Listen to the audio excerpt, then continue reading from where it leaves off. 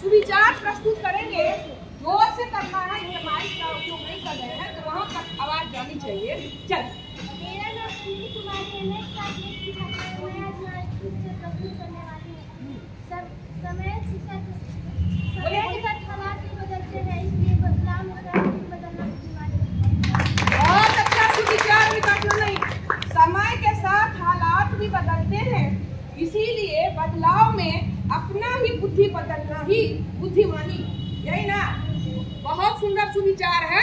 यानी कि हम दूसरों को नहीं बदल सकते हैं, ये बात याद रखिएगा। हम खुद बदलेंगे, लेकिन दूसरों को नहीं बदल सकते। इसीलिए खुद ही हम बदल जाए। बदल जाए, हम खुद बदले।